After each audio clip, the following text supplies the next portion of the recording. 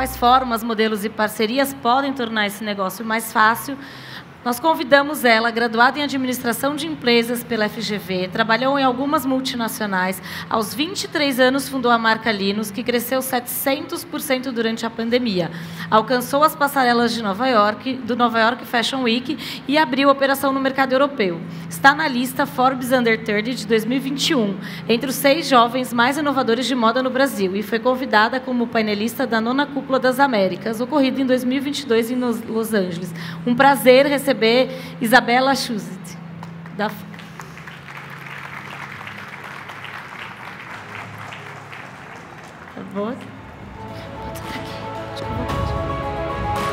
E eu quero convidar também ele que é graduado em Engenharia de Produção pela UFRG, Head Digital da Farm Global, marco internacional da Farm com sede em Nova York.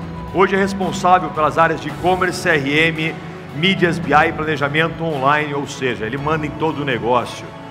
Por favor, seja bem-vindo, Marcel.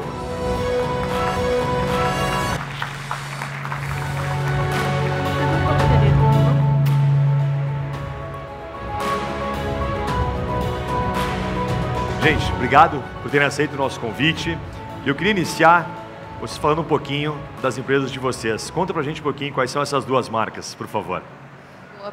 Prazer, primeiro, para todo mundo. Estou muito feliz de estar aqui. Para quem não conhece, a Linus é uma marca de lifestyle sustentável, então a gente tem como propósito transformar o bem-estar num estilo de vida. Isso diz respeito tanto ao bem-estar individual quanto também ao bem-estar coletivo, né, questão de meio ambiente, etc. Só que a gente quer é, oferecer sustentabilidade associada a conforto. Como a gente faz isso hoje em dia? Por meio dessas sandálias, é, que são feitas com material 100% reciclável, livre de metais pesados, veganas e com 70% de fontes renováveis na composição. E o teu, o que, que é aquele QR Code lá? Conta pra ah, gente. Ah, sim, ó, quem quiser conhecer, já pega aí o celular, entra no QR Code para conhecer a Linus, tem ali nosso Instagram. E já vou, posso dar desconto? Pô, desconto sempre é muito bem-vindo. para quem quiser conhecer, com certeza vocês vão se apaixonar. A gente está com um desconto aqui para o fórum. É Fórum 22. Só aplicar ali na hora de, do checkout. Nossa, Bacana. que maravilha. E aí, Marcelo? Tá ligado? Bate só nele que. Acho que daí tá ligado, acho que só ele libera para você lá. Alô, alô, bom dia, galera. É, então, a, a, nosso sonho é estampar o mundo, né? A Farm nasceu 25 anos atrás, marca carioca, lá no, no, no Rio de Janeiro, numa feirinha, na feirinha Babilônia Feira Hype. E a, hoje a Farm Global é uma marca praticamente separada da Farm Brasil, embora a gente ainda fale do mesmo lifestyle, da, da mesma da mesma missão para o mundo inteiro, a operação é completamente separada. Então, a Farm nasceu 25 anos atrás. 2016 a gente vendeu a primeira peça de roupa lá nos Estados Unidos, fizemos a primeira feira. 2018 separamos essa operação e começamos a dar foco de fato para uma operação global. 2019 abrimos a primeira loja, o nosso site, dando prejuízo, importante falar. É, a vida a vida é real, né? Então a vida como ela é. Então, 2020, cara, conseguimos ficar no 0 a 0, atingimos o break-even. 2021 já conseguimos fazer 270 milhões de, de, reais, bastante coisa, porque o mercado americano e global é gigantesco. 2022 a gente é, continuou, continuou crescendo, quer dizer, estamos agora crescendo ainda e batemos o recorde de venda do site da Farm Brasil, de vender 7 milhões de reais em um dia só.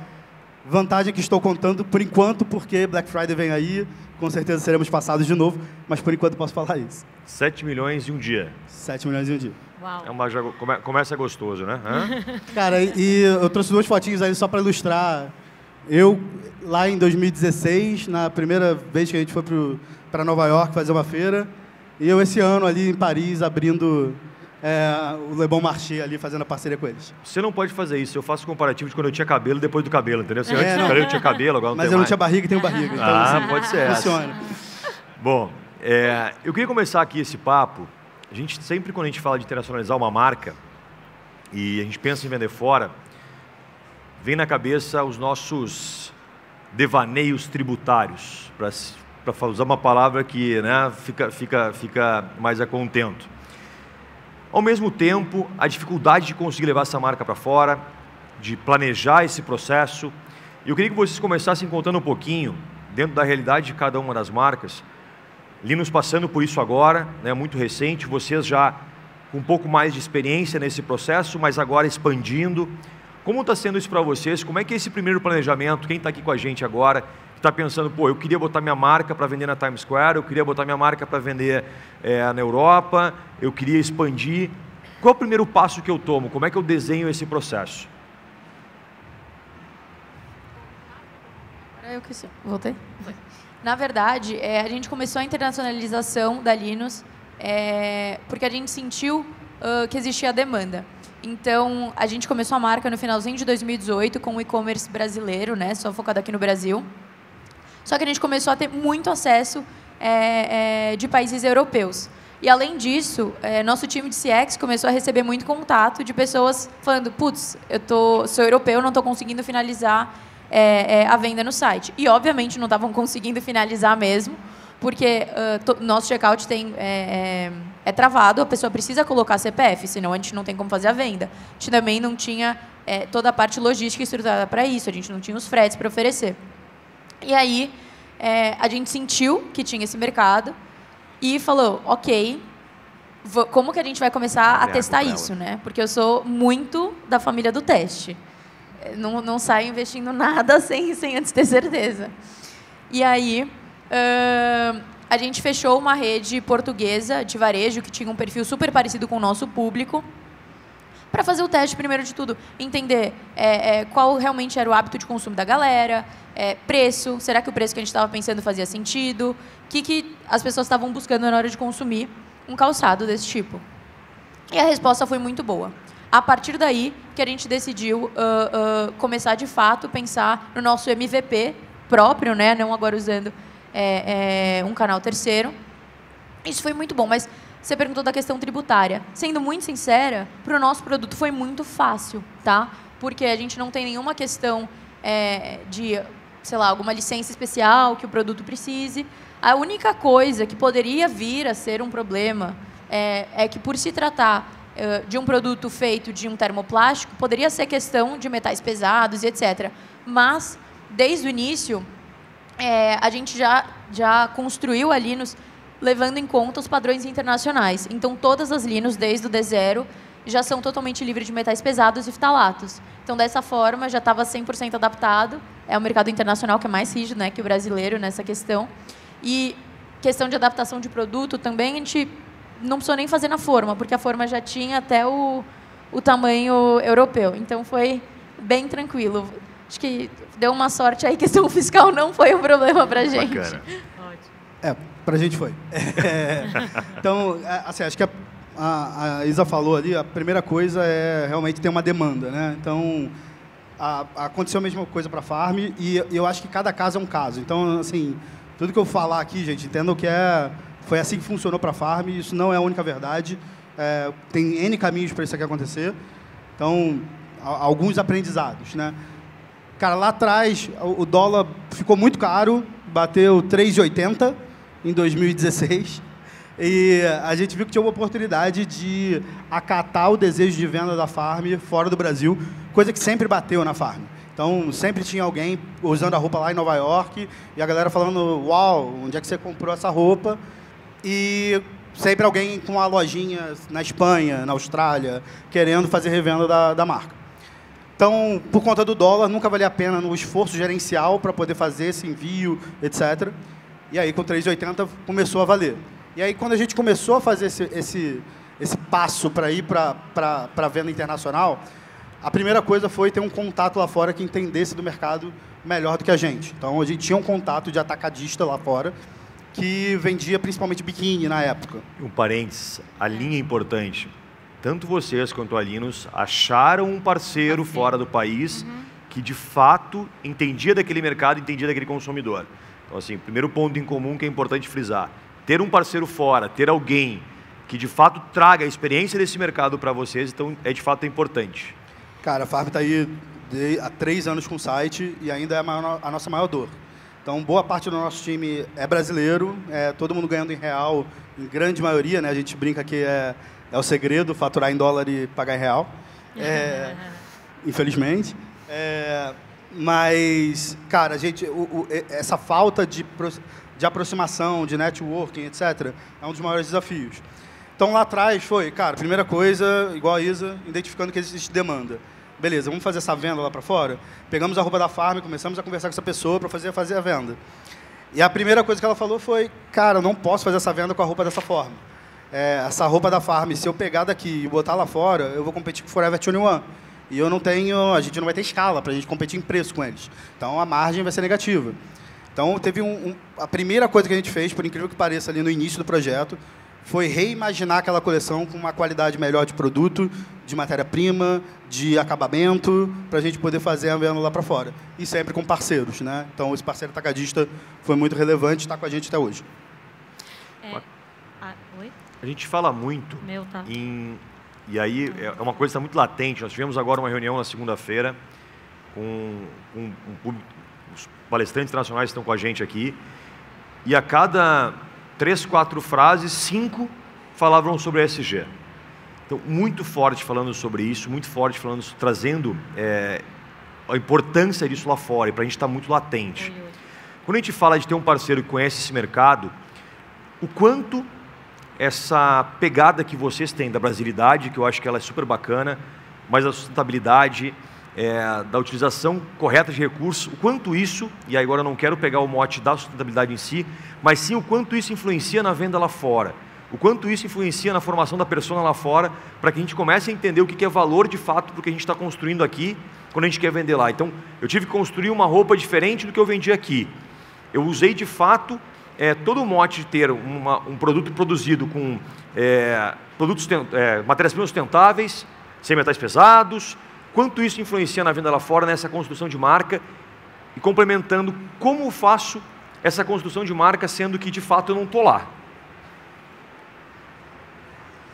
Toda a parte de sustentabilidade que a gente entrega para a Europa, a gente entrega para o Brasil. É, sustentabilidade é a pauta número um da Linus e a gente não vai fazer absolutamente nada aqui ou lá ou em qualquer lugar do mundo se for contra os nossos princípios é, de sustentabilidade. Se a gente não entender que é a forma que a gente encontra de, no mínimo, minimizar nossos impactos. Só que o que é muito legal do público europeu é que dois terços, olha isso, dois terços dos consumidores europeus sabem que a forma como eles consomem gera impacto ambiental. Isso é a solução? Não é a solução, mas conhecimento, ter essa ciência já é, assim, com certeza, o primeiro e acho que o mais importante dos passos. É, e aí, tem outras, obviamente, outras coisas que impactam na tomada de decisão. Preço, disponibilidade, é, praticidade do produto, mas eles têm mais conhecimento. E isso ajuda muito. Eles estão mais dispostos a comprar. No Brasil está incipiente, acho que as pessoas já têm mais essa consciência, mas lá está à frente, sim, com certeza. Isso ajuda muito a gente. E quando soma isso com a brasilidade da marca, né? A Brasil é muito carismático lá fora, né? Então a galera ajuda, realmente. Ele, é, você consegue fazer contatos por ser uma marca brasileira que está tentando ir lá para fora. É, no caso da sustentabilidade, para a Farm é muito presente, está nos valores da marca. Então, para cada, cada venda que a gente faz, a gente planta uma árvore, é um, é um, é um, é esforço muito grande para isso acontecer. A gente vai chegar em um milhão de árvores plantadas provavelmente esse ano. É, mas isso tem, que ser, isso tem que ser um valor verdadeiro para você conseguir bater no peito, levar para lá e colocar isso estampado ali na frente. Né? Então, seja a Isa com a matéria-prima é, totalmente voltada para isso, ou a Farm com esses valores, se não for verdade, você só tem que fazer o básico. E aí você puxou muito para o lado de business. Né? Você falou, cara, sustentabilidade, mas com, com viés de business. Então, assim, o, aí indo direto ali para o. Cara, o que, que foi importante para a Farm lá fora? Como é que começou a funcionar? Atacadistas foi, foram muito relevantes lá fora para a gente. Então, abrir as portas por meio de uma Nordstrom, Anthropologie, Saks, etc., é, cara, são, são pedidos que no início da sua marca, se aquela compradora gostar do seu produto, ela vai pegar aquele produto e vai conseguir financiar ali 5, 6, 7 pessoas trabalhando naquele, na, naquele projeto, aspas, ali no primeiro ano, no segundo ano.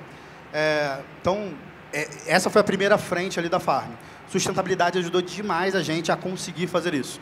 Então tinha um mote, já era uma marca legal, já era uma marca que tinha uma história aqui na, no, no, Brasil trabalhando isso e que a gente queria levar lá para fora com mais força ainda. E essa consciência sustentável é, do público fora do Brasil ajuda muito, ajuda demais. Junta com a brasilidade ali da, da do, do, carisma é, e abre portas, de fato. E, e uma, um outro, uma pergunta assim, é, todos vocês observaram essa demanda que tinha desse produto, mas a comunicação, hoje qual é a realidade? Você comunica um produto brasileiro, mas a sua preocupação é uma comunicação para o brasileiro que está lá fora ou para o europeu, para o americano? Quem é o consumidor? Como que você está tratando essa comunicação e levando esse produto? É o, é o estrangeiro que quer brasilidade ou o brasileiro que quer consumir esse produto lá fora?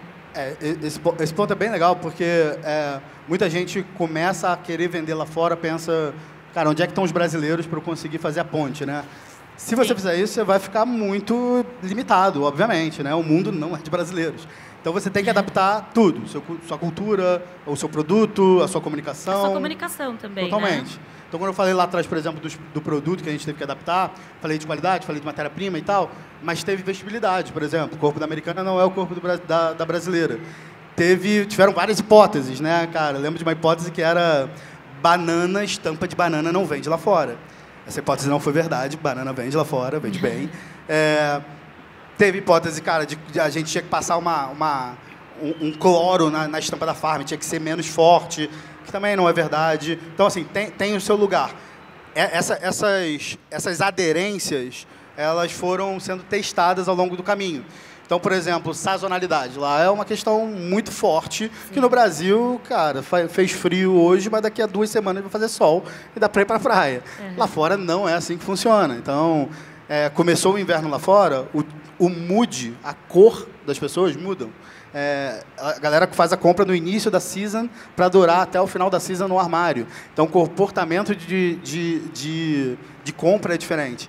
É, tudo isso, cara, é só, é só experiência e botar a cara lá e começar a vender e entender o que está acontecendo. E no caso da Farm, eu vou, vou perguntar para ela, mas no caso da Farm, você tem um, foi um desejo dessa moda brasileira no primeiro momento que despertou essa ida da Farm até lá, né? Então, ah, quero usar, mas você teve que se adaptar. Legal, vocês querem usar a moda brasileira, vocês querem usar Farm, eu vou trazer, mas não, acho que é para todo mundo, né? Que está aqui, é, não é só levar a moda brasileira, é levar a moda brasileira da maneira com que eles estão esperando. E no seu caso, acaba que você não fez uma mudança do produto, né, Isa? Você levou o mesmo produto, mas com um conceito diferente de uso, com como que foi? Eu acho que não Oi? Acho que não é outro conceito de produto. É, acho que a comunicação continua sendo a mesma, porque é, a necessidade de preservação é uma linguagem mundial. Então, eu acho que isso tudo é, é, se mantém. Mas eu acho que uma coisa muito interessante que a gente sentiu, que é, é o Marcel estava falando de hábito de consumo e questão de sazonalidade. Aqui no Brasil, a gente teve que fazer, é, e faz ainda, né, um trabalho muito forte para falar para as pessoas usarem linos com meia. Então, chega um tempo um pouco mais frio, as pessoas não pensam em usar sandália com meia. Porque a gente está habituado com sandalinha, que fica com a tirinha entre os dedos, e aí você põe meia e o quê? Machuca. Não é confortável. Então a gente teve que fazer esse trabalho, a gente faz todos os anos. Inclusive, a gente recentemente até lançou é, é, meia da própria Linus, feito de algodão BCI, etc. Só que na Europa é, é, completamente outro mindset, porque a gente é muito fã de, de influenciador orgânico. A gente faz muito seeding, é, né, que é quando você manda para o influenciador e não é pago. E o primeiro influenciador que postou, era uma mulher, na verdade, a primeira influenciadora, já postou ali nos de meia. Então você fala, cara, já, já faz parte da cultura deles, já está no dia a dia. Exato, assim, obrigada, não preciso nem fazer esse trabalho, vocês já sabem, que maravilhoso. Bacana. E, e o Isso legal é, é a questão de público também que a gente conseguiu atingir, porque nosso foco era a Europa, mas assim, a gente está trazendo para a marca público de mais de 90 países, então a gente está extrapolando a Europa, está chegando Oceania, Ásia, África, então pessoa que a gente não estava pensando em atingir, que a gente também está conseguindo chegar. É muito, só, só para fechar, que é muito legal porque é esse olhar, né? Eu tenho um produto nacional, eu levo para fora, eu olho tanto o meu nacional, a minha realidade, que foi o que despertou o interesse, mas totalmente a realidade desses outros lugares e provavelmente algum hábito deles que eu possa trazer para o meu produto, né, Marcelo? Isso é incrível, você tem que ter esse olhar amplo, não ficar ali, ah, vou, busca o meu produto, eu vou exportar, eu vou tudo bem, não, eu tenho que ter esse olhar 360, é muito interessante. Ponto importante que eu queria abordar com vocês agora, até para a gente poder, de novo, fazer a nossa jornada da nossa empresa migrando do Brasil para fora. fiz, construí, entendi que eu posso ter um parceiro lá fora, entendi que com esse parceiro eu começo a entender esse mercado e começo a possibilidade de expandir de fato, e aí sim eu indo direto. Vocês chegaram a olhar, por exemplo, para os fulfillments que a gente tem fora do país hoje, para os full services que a gente tem fora do país hoje, para quem não sabe a diferença, ou tu tem só a operação logística quando fala de um fulfillment, ou quando tu fala de um full service, você tem além da operação logística, todo o trabalho de marketing, trabalho comercial sendo feito ao mesmo tempo, tá? Então é a diferença entre fulfillment e full service. Vocês chegaram a olhar para esses modelos porque o que a gente tem visto muito? As empresas que começam a internacionalizar, eles pegam um fulfillment by Amazon, que está operando lá fora, ou eles vão para empresas que hoje estão é, levando os brasileiros para fora, a Wave aqui está é tá, tá expondo com a gente que é, uma, é um exemplo, estão levando essas empresas para fora e fazendo essa exposição lá. Chegaram a olhar para isso? Foi, foi um modelo inicial pensado ou não, de fato, não, não, não era possibilidade? Sim, a gente não só olhou como a gente usa. É, ali, nos, acho que nesse mundo de unicórnios, a gente é um outro bicho, que é o que as pessoas estão chamando de é, vira-lata caramelo. Adoro um zoológico. Porque é, a gente nunca captou, então hoje em dia a empresa roda, até hoje, né? Com a partir de receita que a gente gerou com 50 mil reais que eu investi em 2018. E isso fez a gente aprender algumas coisas né, nessa trajetória. A primeira é que você tem que ser muito inteligente na forma como usar o dinheiro, não só o dinheiro, o seu tempo, o tempo da equipe, tudo. Então, é, a gente aprendeu como marca nativa digital é, e com um time extremamente enxuto, extremamente eficiente, mas extremamente enxuto também, é, a gente tem que aprender a focar no que é nosso core business. Então, como marca nativa digital, é marca, produto, experiência. O que não faz parte disso, é, assim, eu não, eu não tenho a necessidade, acho que é até importante a gente conseguir terceirizar e buscar parceiros que consigam fazer isso para a gente de uma forma melhor e mais barata. E foi exatamente isso que a gente fez. Então, a gente fechou um parceiro para, de fato, operacionalizar a marca na Europa. Então, a gente tem toda a gestão daqui. É, a gente, é, eu sou cliente da Shopify.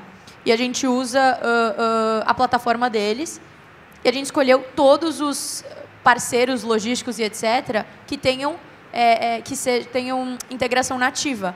Então, a gente tem visibilidade de absolutamente tudo o que acontece, a gente consegue ter controle de tudo o que acontece daqui.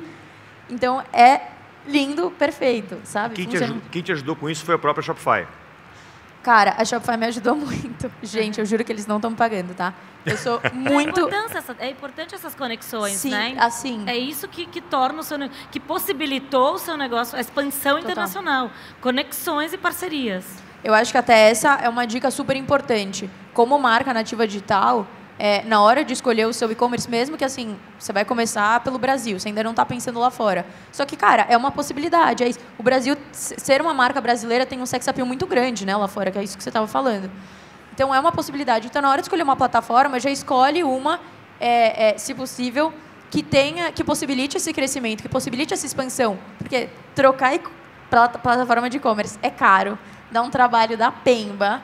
Então, a gente simplesmente abriu um site novo no Shopify, fez um cadastro de 5 minutos, 10, sei lá. Duplicou o nosso tema, fez, mudou umas configurações, óbvio, traduziu o site. E é isso, estava rodando, sabe? Fora, óbvio, fechar o parceiro que operacionalizou, etc. Mas toca tudo daqui.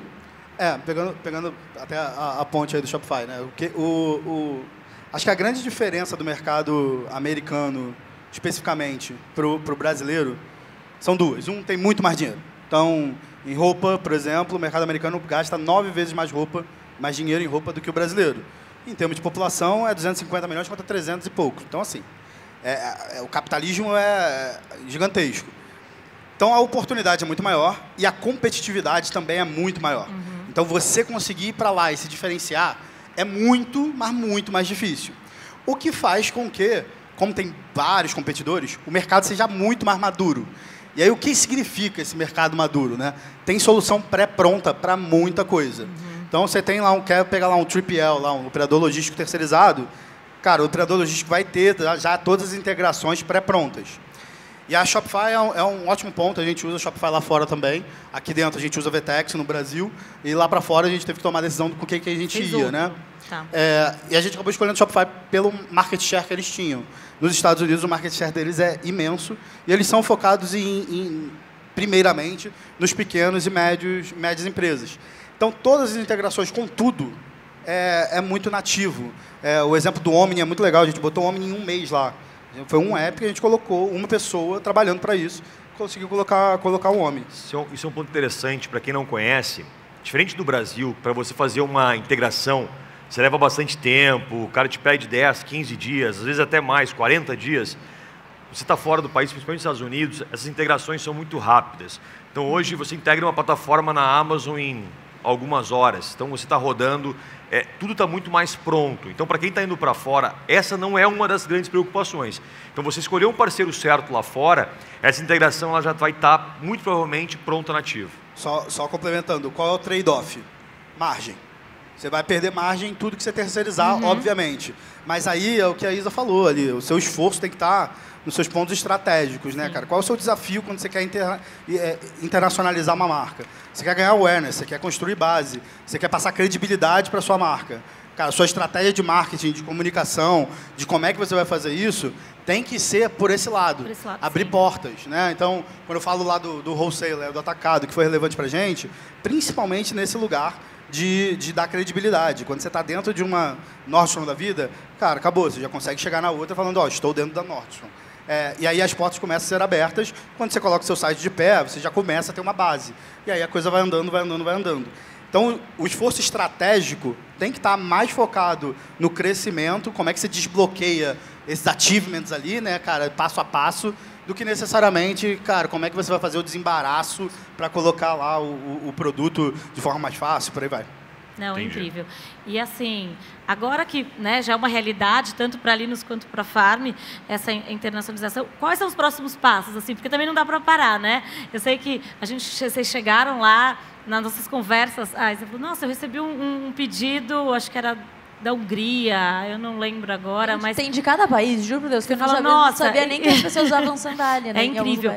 Mas também você não pode ficar organicamente só. Então, no seu caso, foi lá, traduzi o site, coloquei, tenho parceiros, mas o mundo não é orgânico dessa maneira. Então, quais são os planos, tanto da Linux quanto da Farm, para essa expansão? Porque existe uma intenção expandir, com certeza, mas planejada. Né? E como que isso... Porque surge orgânico o desejo. Agora, como que é esse planejamento? Acho que a gente está bem ainda no começo comparado com a Farm. Estou aprendendo muito com o Marcel, inclusive.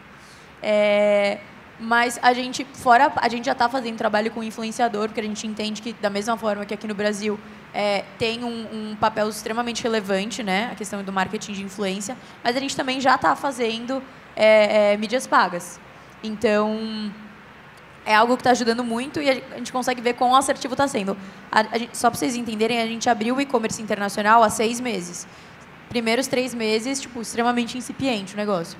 Mas se você compara o que, tá o que aconteceu né, no segundo trimestre desse ano com o primeiro, é surreal. A gente teve um crescimento de mais de mil por cento nos acessos, mais de 500% de crescimento de conversão. Uhum. Então, é bastante expressivo. É um trabalho, né? É um tra... Só que assim, é isso. Ainda, é, em números absolutos, é, tem, tem muita coisa para fazer. Tem muito, Mas muito, o foco está lá em crescer. Mas o então foco então é tá isso. hoje você investe em performance, hoje você Exato. já investe em coisas que no começo você não investia. Você já Exato. mapeia influenciadores daquela, daquele perfil, daquela região, de onde você quer. Entender as datas, né? Tem datas comemorativas muito diferentes daqui. Entender essa sazonalidade é uma coisa que a gente está começando agora, entender como funciona isso lá. É, mas eu acho que é começar uma marca do zero. Assim, da mesma forma que foi extremamente árduo, trabalhoso, construir uma marca forte que a gente conseguiu construir em três anos, é, é começar esse trabalho do zero. A gente quer se tornar, e já vem se tornando, uma referência não só de marca de calçado sustentável, mas é isso, uma marca de lifestyle sustentável. Porque mais do que uma sandália, a gente está vendendo o estilo de vida, a gente está vendendo um mindset, a gente está vendendo realmente o nosso propósito. E é conseguir construir e fixar isso na cabeça dos consumidores lá. E a importância é isso, é você focar na estratégia e contra as parcerias, né? Porque você não conseguiria focar tanto nesse plano de expansão se não tivesse parceiros. É, co como passo, acho que o primeiro passo para você internacionalizar é entender se você tem foco para fazer isso. Se, cara, você está no momento de marca que, que cara, te pro você pode botar um esforço para aquilo, porque é um mercado diferente. Dado que é um mercado diferente, quando você fala, beleza, vou fazer isso e valida seu produto, o produto tem um mercado, você realmente validou, que tem uma, um, um nicho que você se encaixa e tem dinheiro ali, depois passa a ser uma gestão como a gestão do Brasil.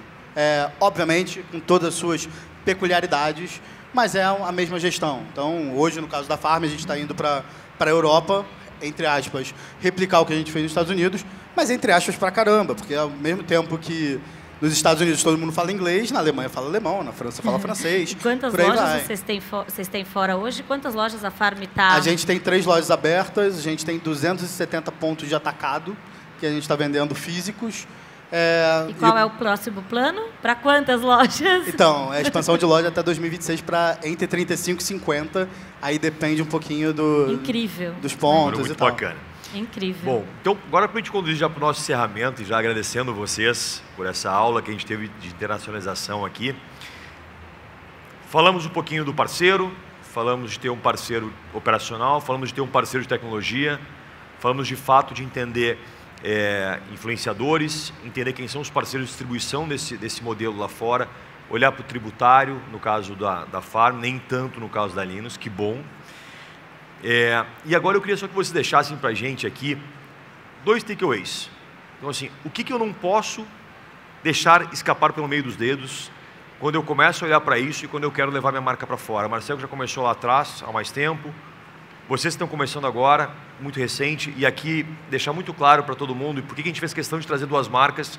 Uma marca que está há bastante tempo, uma que está começando agora, com tamanhos diferentes ainda de marca. Para vocês entenderem que eu posso sair do país, eu posso vender lá fora, e eu não preciso ser uma empresa gigante para poder fazer isso. É, eu tendo conhecimento de como fazer, eu tendo conhecimento de quem são esses parceiros, e força de vontade, muita competência, eu acho que a gente consegue fazer. Vocês lá atrás fizeram isso, já sendo uma marca grande, mas não muito diferente disso. Eu conheço a história é, é do Marcel aqui, como foi o esforço para poder chegar lá fora. E vendo a Linus fazer isso, de fato fica muito claro que se a gente conseguir desenhar bem esse projeto e botar bastante suor ali, muita inspiração, a gente consegue sair. Dois takeaways para a gente encerrar. Eu acho que as du... eu já falei, na verdade, as duas principais dicas, mas eu acho que é vale reiterar. A primeira é com certeza buscar um parceiro é, é, que possibilite você expandir depois, mesmo que você não esteja olhando para isso agora. Porque isso vai te poupar dinheiro e tempo no futuro e é uma dor de cabeça mudar de parceria. A segunda coisa é ser inteligente em como você investe seus recursos. Isso é, é, se quebra em duas partes. Sabendo que é core business da sua empresa e internalizando é, é esses, essas coisas que são core business e procurando parceiros, realmente parceiros, e eu digo no longo prazo, para ajudar você com o que não é seu foco, porque aí, de novo, faz melhor e mais barato. E a segunda coisa é você conseguir é, é, fazer teste. Não adianta, não, não vou falar que não adianta, mas é muito arriscado, ainda mais para uma empresa que está no começo, cara, pegar e investir uma porrada num negócio que você não sabe qual vai ser o retorno. E aí isso daí pode ser fatal para uma empresa que está no começo. Então, testa, testa, testa, testa. E aí, quando você souber onde você está se metendo, aí você vai. É, é, acho que a primeira coisa que aconteceu tanto comigo quanto com a Isa é tem que ter uma demanda e você precisa validar o produto. É, tira o complexo de vira-lata que a gente tem. Gente, assim, quando, quando tem Black Friday, atrasa lá todas as entregas, igual atrasa aqui. Então, cara, a UPS atrasa do lado de lá, os Correios atrasam aqui, porque ninguém consegue é, é se preparar para aquela demanda. Isso não tem nada a ver com, com a com a gestão ser melhor ou pior de um lado ou de outro, tem a ver com uma questão de mercado mesmo. Então, os problemas que a gente tem aqui, a gente tem do lado de lá também, eles também têm do lado de lá. Dá para fazer, mas precisa de foco. Então, cara, a gestão vai ser um pouquinho diferente, precisa ter alguém ali para poder olhar e tratar aquilo ali como um, como um filho de fato, né, para conseguir fazer todos os testes que eles está falando. Então, assim, cara, foco e validação de produto. Se o seu produto funcionar e você tiver gente boa para tocar, o negócio vai voar e vai crescer mais rápido que no Brasil, porque tem mais dinheiro. E última coisa, conversa com pessoas né, que estão fazendo isso. Tipo, eu estou alugando Verdade. o Marcel, coitado. É, assim, não pare de falar com ele e pedir dica. Acho que isso ajuda muito. Inclusive, me disponibilizo para quem quiser bater um papo, conversar. Coisa que eu mais amo fazer na vida é ajudar, porque eu, eu não só já fui, como ainda sou muito ajudada. Isso faz muita diferença, né? Sem dúvida, gente. Tipo, cara, conversar. A, a ideia não é o problema. Assim, a ideia, a ideia é fácil. A execução é difícil. Então, precisar de, de informação, eu, eu dou sem nenhum problema, tá? Só procurar. Legal. Ah. Deixa eu dar um Tenho bastidor para vocês aqui. pergunta, mas não temos mais tempo, né, Marcelo? É, deixa eu dar um bastidor para vocês aqui. A Isa estava nervosa para vir falar aqui. E ela falou, Marcelo, eu tô nervosa. Eu falei, Isa, falar é fácil, o difícil é levar o produto lá para fora, entendeu? Falar aqui é qualquer um fala, a gente sobe aqui e fala, né? Com a propriedade que vocês têm, quanto que vocês conhecem, vai ficar fácil. Foi muito bom, Isa, parabéns. parabéns Marcelo, muito obrigado por, por, ter dividido isso com a gente. E um toquezinho de novo, mais um para complementar aqui, que é falar um pouquinho sobre a nossa síndrome de vira-lata. Adorei o vira-lata vira caramelo também, que é muito bom. O unicórnio é bonito, mas o vira-lata caramelo também é legal. É, a gente acha que nos Estados Unidos tudo é tudo são flores e tudo é muito rápido e que chega lá, a entrega acontece em 15 minutos e chega o drone voando e que faz uma entrega e que aqui a gente é ruim, né? Drone nasceu em 2014 na Amazon. A linha, a área, a empresa que fazia os drones, que é a Amazon Air, fechou. Faz dois anos. Não funciona, não existe mais. Porque nunca foi para o papel. Muito do que a gente vê, os robozinhos lá, óbvio que existem, tem bastante isso, né? não só da Amazon, mas de outras empresas ah, tem o robozinho? Tem. Em alguns armazéns. Outros é a gente trabalhando, que nem a gente tem aqui, muitos brasileiros trabalhando lá. Tem uma empresa gigante que faz de fato entregas muito rápidas, mas tem outras tantas empresas como nós temos no Brasil que sofrem muito com logística, por exemplo. a gente está falando de logística, mas a gente poderia falar de plataforma, poderia falar de outros tantos. Então, a história de não ser cachorro vira-lata, de não achar, pô, eu sou brasileiro e a gente não tem a mesma condição que o cara tem lá de fazer, Esqueçam, gente, a gente faz muita coisa boa aqui no Brasil. A gente tem produtos de excelência acontecendo aqui, Sim. vocês têm produtos de excelência. O nosso negócio aqui no Brasil é muito bom, a gente vende muito bem, a gente cresce muito e a gente tem muita inteligência para colocar para fora. Então, usem as marcas de vocês, levem os produtos de vocês para fora, levem o nome do nosso país para fora. Com isso a gente pode ganhar dinheiro. Se a gente puder faturar em dólar, que bom, daqui a pouco a gente vai pagar em dólar também e a gente fica todo mundo mais feliz, não é isso? Então, quanto mais a gente conseguir olhar para isso, quanto mais a gente conseguir levar, eu acho que todo mundo ganha. Ganha o nosso país, ganha as empresas, ganha o nosso nome lá fora. Eu tenho certeza que todos vocês têm condições de fazer muito bonito por esse, esse mundo afora aí. Né? Então, é, se aventurem, se aventurem cada vez mais. Ok? Essa é a dica que eu queria dar para vocês aqui. Marcel, mais uma vez, obrigado, parabéns pela história. Parabéns pela história que vocês estão construindo, Isa. Incrível. Paula, obrigado. Vamos encerrar aqui. Vamos lá. Gente, a gente vai para o café. Agora, que palmas para os dois, por gentileza.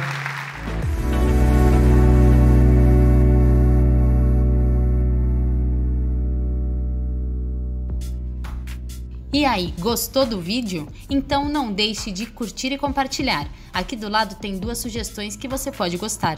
Até a próxima!